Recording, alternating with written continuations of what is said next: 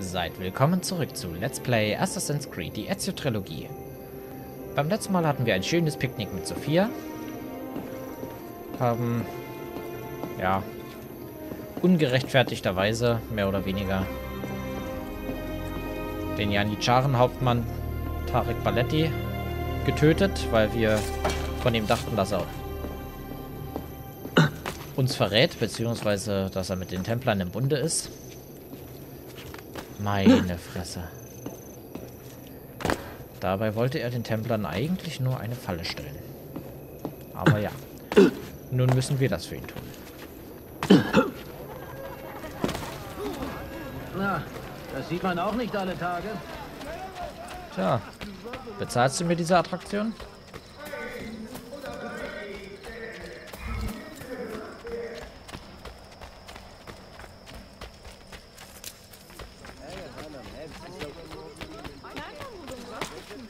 Ich meinen Augen trauen? Ja. Ich in dem Alter noch.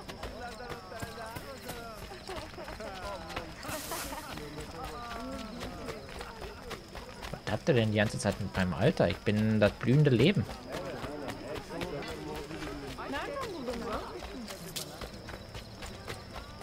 Wie gerade frisch aus meiner Mutter geploppt. Was? Hab ich nicht gesagt.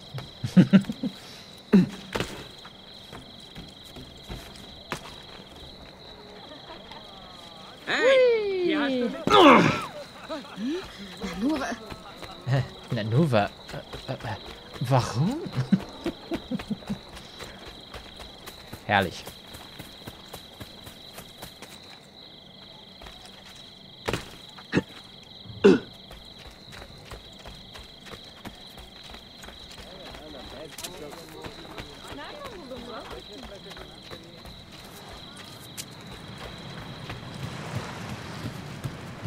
Guten Tag daher. Schön, geh einfach weg.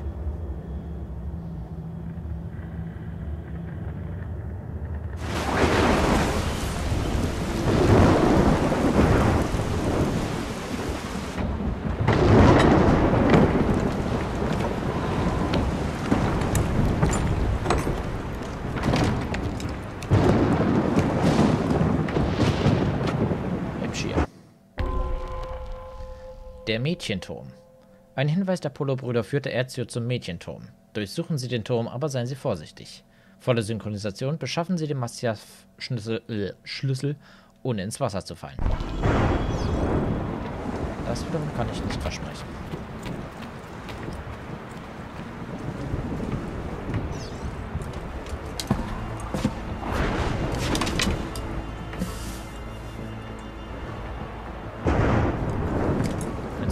Hier überall das Assassinen-Symbol drauf ist.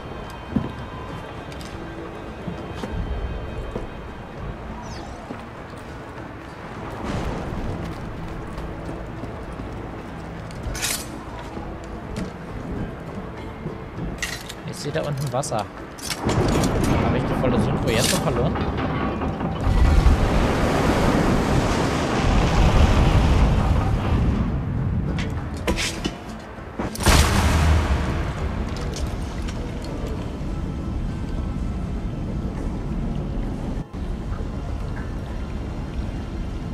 Sowas wieder, wie bei der vollkommenen Zahl.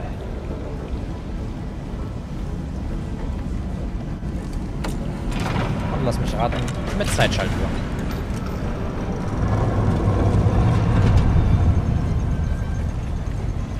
Natürlich.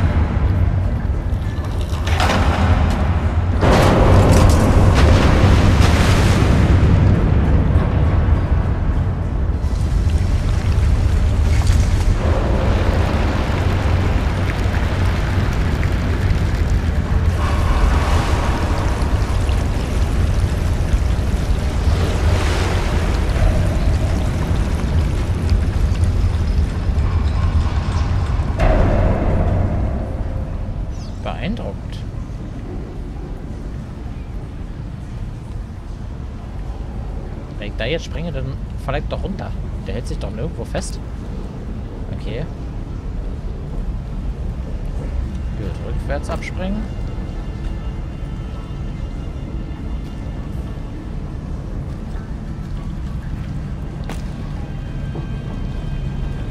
Schön, also wir haben alle Zeit der Welt.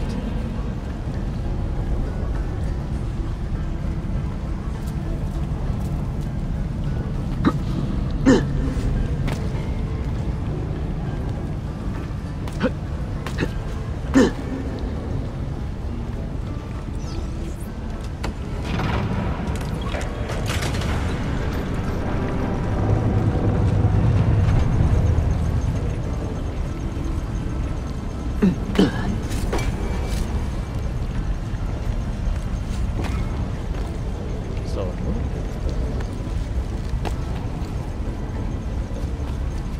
Ja. Okay.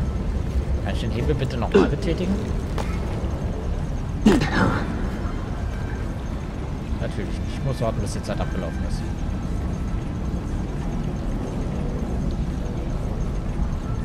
Neunzehn, achtzehn, siebzehn, sechzehn. Und bei euch so?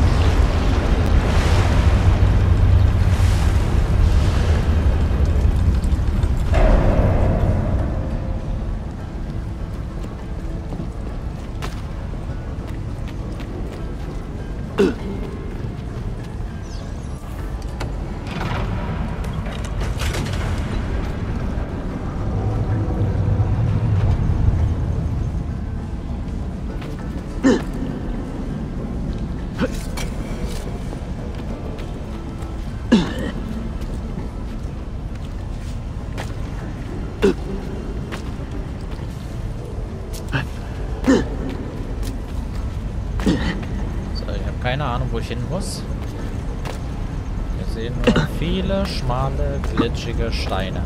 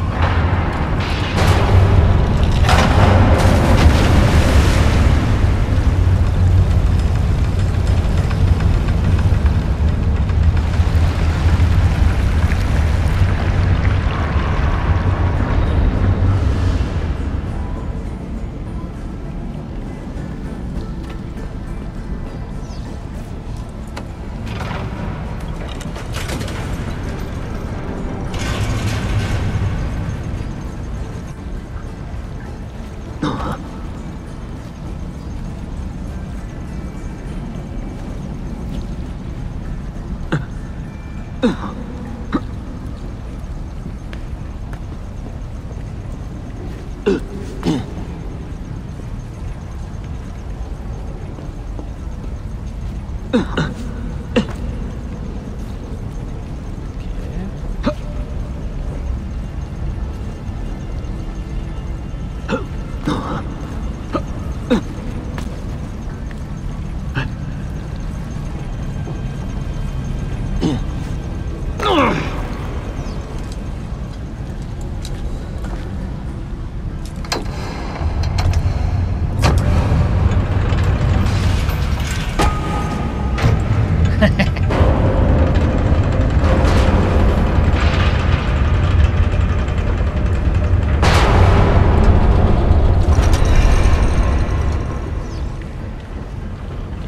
Schön Tritt versetzen. Das hat schon immer gut geholfen.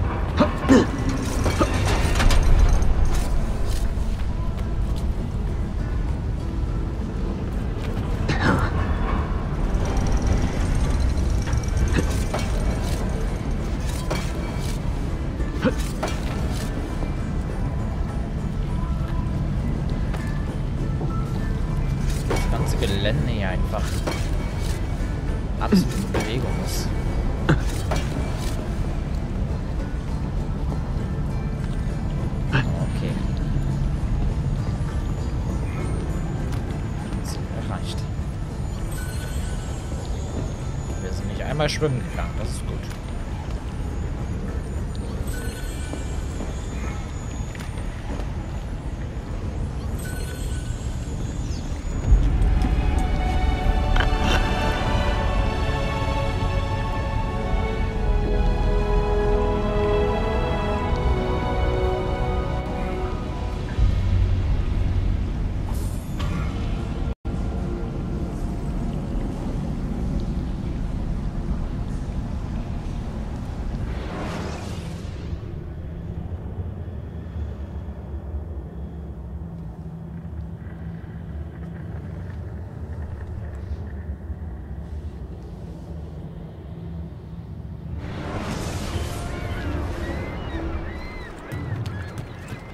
So, aktuell habe ich hier nur Büchermissionen auf der Karte. Sieht so aus, als würde die Hauptquest davon abhängen, dass wir erstmal diese Sophia-Missionen hier fertig machen.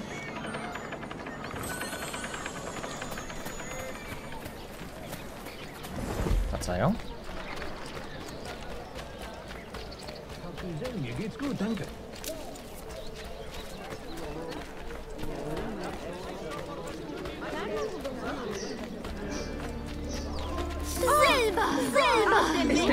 Der Geburtstag?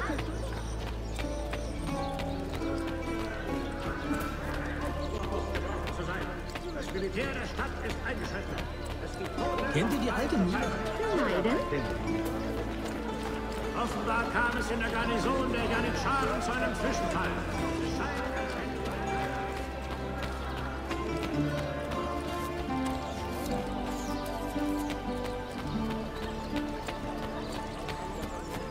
Vertraut der Pflege, die ich bieten kann.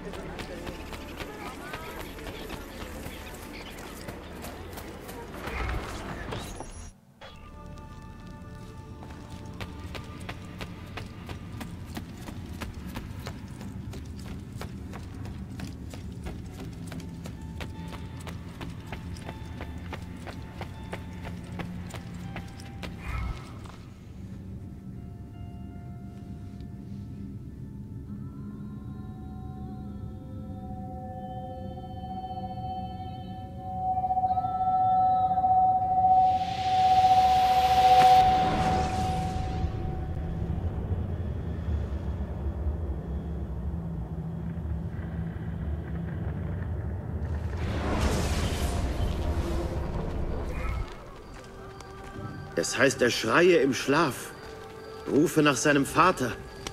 Abbas, welch ein erbärmlicher Mann. Es ist nicht an uns zu richten. Sicher ist es das. Falls unser Meister von Sinnen ist, so will ich es wissen. Still. Guten Abend. Wasser. Natürlich. Bitte. Habt vielen Dank. Was führt euch her, alter Mann? Bedauert Abbas. Verurteilt ihn nicht. Er hat die meiste Zeit seines Lebens als Waise gelebt, beschämt vom Erbe seiner Familie. Er ist besessen von der Macht, weil er keine Macht besitzt. Er ist unser Mentor. Und anders als Al-Mualim und Altair hat er uns nie betrogen. Ein Unsinn. Altair war kein Verräter. Er wurde vertrieben. Zu Unrecht. Es. Ist es? Seid ihr das? Ich hörte Gerüchte, jedoch glaubte ich sie nicht. Ich frage mich, ob ich selbst mit Abbas reden soll. Viel Zeit ist vergangen. Unmöglich. Abbas ungehobelte Lakaien halten uns von der Burg fern. Weniger als die Hälfte der Krieger hier sind wahre Assassinen. Nun, wo fange ich an? Bei uns.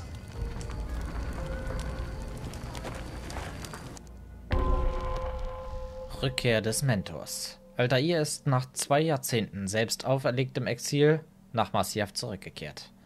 Sammeln Sie Verbündete, sammeln Sie Verbündete und eliminieren Sie Abbas. Volle Synchronisation, niemand außer Abbas und seinen Hauptmännern töten.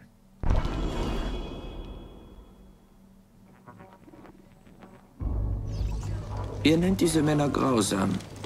Erhoben sie ihre Klingen gegen Unschuldige? Für wahr, ja. Gewalt scheint ihr einziger Spaß zu sein. Dann sterben sie.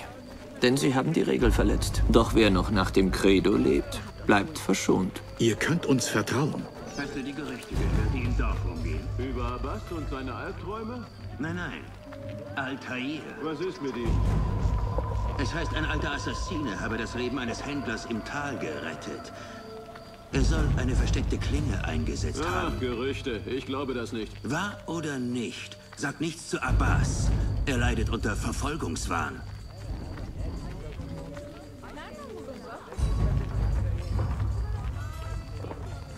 Guten Tag, die Herren. Dein Antlitz zu ertragen macht nicht.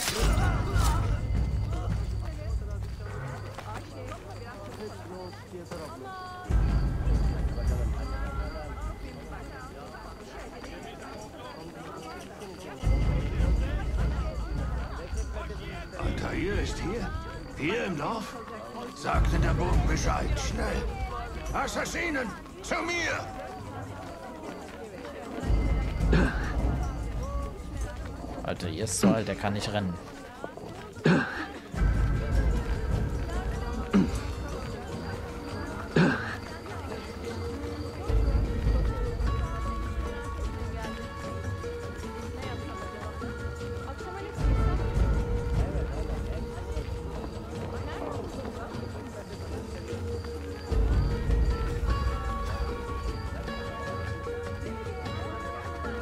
Hauptmann, bleiben Sie bitte einmal stehen. Mentor, Willkommen. Still. Wir wollen doch nicht, dass er stirbt.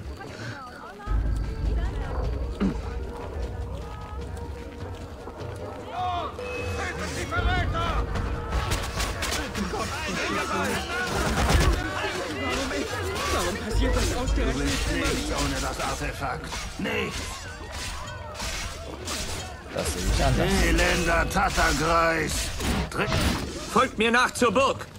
Vergießt kein Blut, wenn es nicht nötig ist.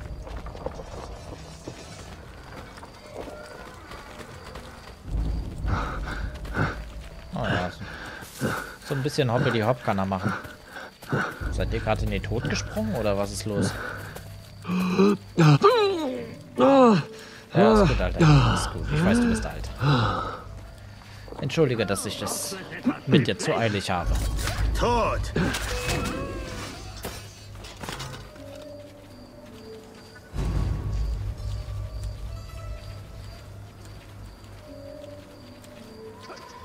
Ich da eigentlich die ganze Zeit für Geister gestalten?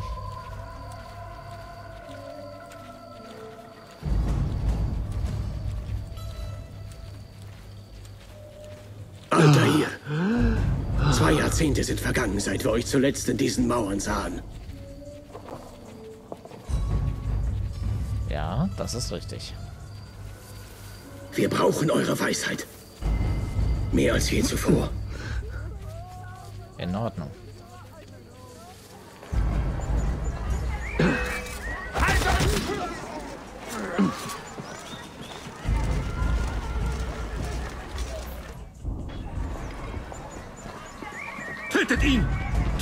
Sofort! Worauf wartet ihr noch? Ihr Narren! Er hat euch verhext! Womit denn? Unser Mentor ist zurück! Wir halten den Apfel ja nicht hoch. Meinen Respekt, Mentor. Für Abbas! Ich kämpfe für euch. Für den Orden. Willkommen Führe daheim. meine Klinge. Altair, Willkommen zurück, Mentor. Eure Anwesenheit. Es ist mir eine Ehre, Mentor. Still! Wenn Sie, gemeinsam zum Sieg, wenn Sie Mentor. mir jetzt schon die Möglichkeit hier geben, habe ich die volle Synchro eben vergeigt. Willkommen zurück, Mentor. Befehlt euren Männern den Rückzug. Nein! Ich verteidige Masyaf! Würdet ihr nicht dasselbe tun? Ihr habt alles verraten, wofür wir stehen. Und alles Erreichte verloren. Alles. Einfach alles geopfert auf dem Altar eures Hasses. Und ihr? Ihr habt euer Leben damit vergeudet, diesen Apfel anzustarren und vom Ruhm zu träumen. Das ist wahr, Abbas. Ich habe viel von dem Apfel gelernt. Von Leben und Tod. Vergangenheit und Zukunft. Ich zeige es euch.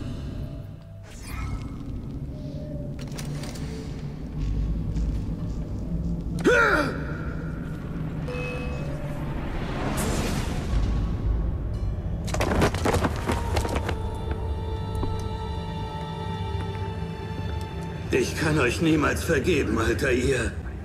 All die Lügen über meine Familie, meinen Vater, die Demütigungen, die ich erlitt. Es waren keine Lügen, Abbas. Ich war zehn Jahre alt, als euer Vater zu mir kam. Er war in Tränen. Bat um Vergebung für den Betrug an meiner Familie. Dann schnitt er sich die Kehle durch. Er hauchte sein Leben zu meinen Füßen aus. Dieses Bild werde ich nie vergessen. Nein. Doch er war kein Feigling, Abbas. Er erneuerte seine Ehre. Ich hoffe, es gibt ein Leben nach diesem. Dann treffe ich ihn wieder und erfahre die Wahrheit über ihn. Und wenn eure Zeit gekommen ist, finden wir euch. Und dann gibt es keinen Zweifel mehr.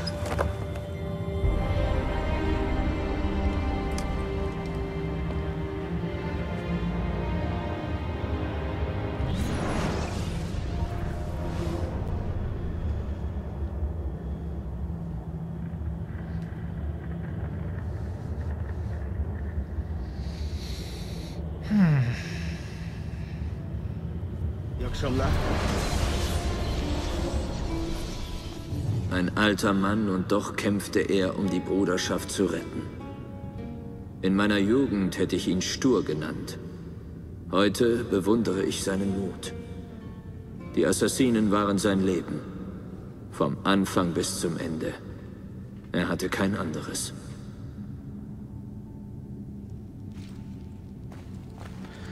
Ach, Abbas, ey. Abbas war so ein Trottel. Zu stolz, die Wahrheit über seinen Vater zu erkennen.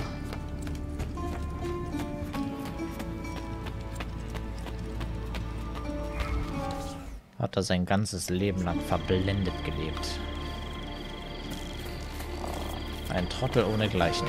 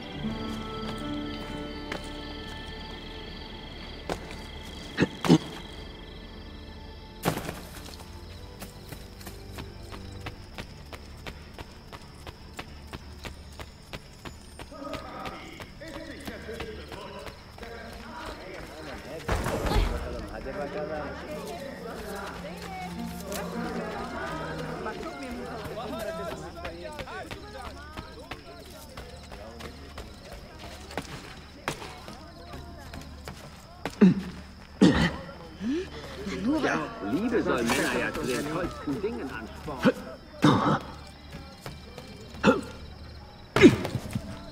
Eieieiei.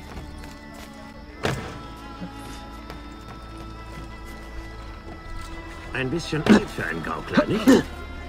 Ach, dafür ist man nie zu alt.